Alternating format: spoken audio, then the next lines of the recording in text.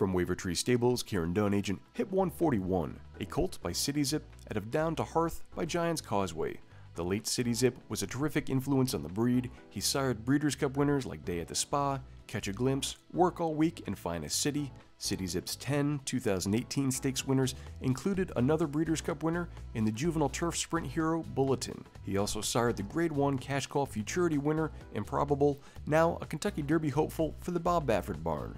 This is from a Young Giants Causeway half to two stakes performers and to the dam of the multiple stakes winner Enchanting Lady. Hip 141, a colt by City Zip from Wavertree.